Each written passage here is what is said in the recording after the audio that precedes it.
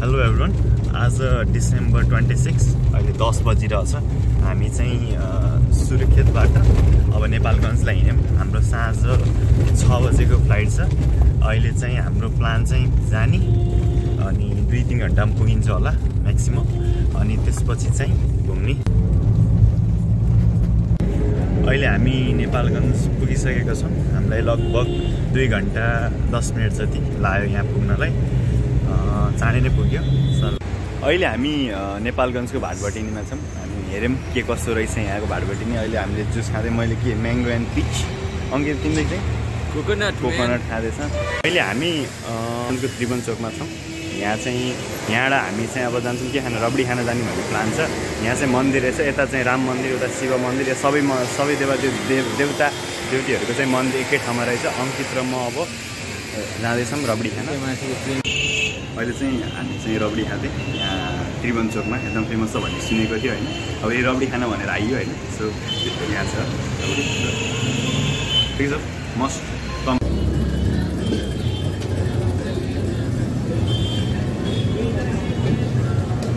अहिले हामी खान आएको छौँ रबडी भाजी यो चाहिँ हामीले टिकटकमा हेर्दा हेर्दा के के पाइन्छ भनेर चाहिँ हेर्दा हेर्दा हामीले अहिले घामन्जा अहिले उसमा पुगेको छौँ सो घामन्जा पनि कस्तो छ हेरौँ नेपालगञ्जको फेमस भनेर सुनेको लेसी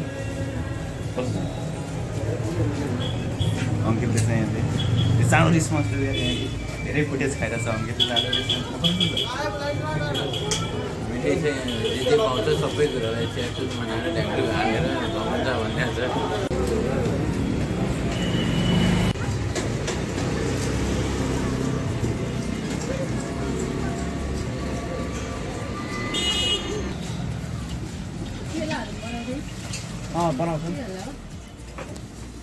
कसैलाई? अहिले हामी घुम्दा घुम्दै रानीतालमा आएका छौँ। यहाँ चाहिँ अहिले एकछिन बस्नलाई थकै लाएर यहाँ बस्नलाई अङ्कित पनि यहाँ रेस्ट गरिरहेको छ। यहाँ बोटिङ पनि रहेछ हेरौँ बोटिङ गरिन्छ कि थाहा भएन सोच्दैछौँ बोटिङ गर्ने कि नै भनेर।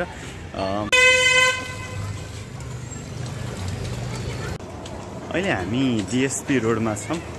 यहाँ नेपालगञ्ज भन्ने बित्तिकै मुबारक बिरयानी खुब सुनिने होइन जता जसको मुखमा पनि मुबारक बिरयानी भनेर सुनिन्छ त्यही हामी ट्राई गर्न जाँदैछौँ। हामी गएको त थियौँ खान भनेर बिरयानी तर सकिसकेको रहेछ।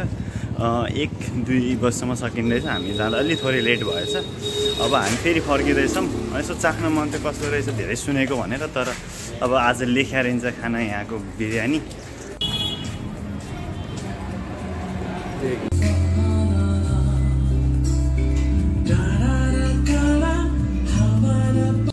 हामीले एकछिन विश्राम लिएको थियौँ एक घन्टा जति जुसहरू खाइयो। अब चाहिँ हामी बागेश्वरी जाँदैछौँ। अहिले हामी बागेश्वरीमा फेरि आएको थियौँ। हामी आइसकेको थियौँ तर हाम्रो यहाँ दर्शन गर्न बाँकी थियो। कुनवाला अङ्कित जुङ्गावाला शिवजीको चाहिँ। जुङ्गावाला शिवजीको हाम्रो दर्शन गर्न बाँकी थियो। हामीले गऱ्यौँ। अब फटाफट हामी फेरि एयरपोर्टलाई निस्किन छ ब्याग लिएर। त्यसरी अहिले हामीले हामी लाग्यौँ एयरपोर्टलाई। अहिले हामी प्लान त एयरपोर्ट जाने थियो तर अङ्कितलाई बिरयानी खान एकदमै मन लागेको भएर हामी बिरयानीलाई भनेर जाँदैछौँ। प्लेन छुट्छ कि? भन्ने पनि हल्का टेन्सन त छ तर हेरौँ प्लेन जाँदै गर्छ बिरयानी इज इम्पोर्टेन्ट भन्ने कुरा आयो। त्यसैले चाहिँ अब हेरौँ हाम्रो कहानीमा चाहिँ प्लेन लेखाएको छ कि बिरयानी लेखाएको छ कि दुवै लेखाएको छ होइन? अब त्यो चाहिँ अब थाहा पाइहालिन्छ अब केही क्षणमा। फाइनली हामीले बिरयानीलाई चाहिँ रोकेको छौँ खाने नखाने प्लान थियो तर जाने बेलामा अब जाने बेलामा खाएरै जाऊँ भन्ने कुरा आयो होइन अब यहाँ गएर ब्याग लिएर चेकिङ गर्न छ तर हामीले यहाँ बिरयानी खाँदैछौँ बाहिर ई रिक्सा राखेर हो अब स्पिडमा तुफानी कुद्छ अङ्कित अङ्कितले तुफानी दिइरहेछ कस्तो लागिरहेछ अङ्कित प्लेन छुट्ने रिक्समा चाहिँ खाँदै गर्दा हामीले पाँच मिनटमा बिरयानी खाएर अघिमा कुद्दैछौँ कुद्दै त के भन्नु? दाइले कुदाउँदै हुनुहुन्छ हामीलाई। हामीले ब्यागहरू खाइसकेको छौँ। यहाँदेखि दस पन्ध्र मिनट लाग्ला कि भन्ने हो अनुमान होइन? अब त्यहाँ गएर कतिको भिडभाड हुन्छ थाहा छैन। पुगिन्छ होला टाइममा।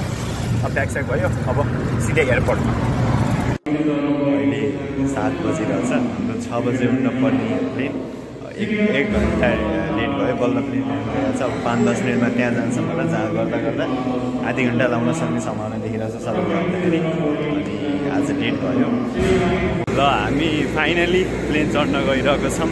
आफ्टर दि लङ वेट हामी चाहिँ जाँदैछौँ। अब अबको यात्रा एक घन्टाको पैँतालिस मिनटको होइन अब पैँतालिस मिनटको यात्रा।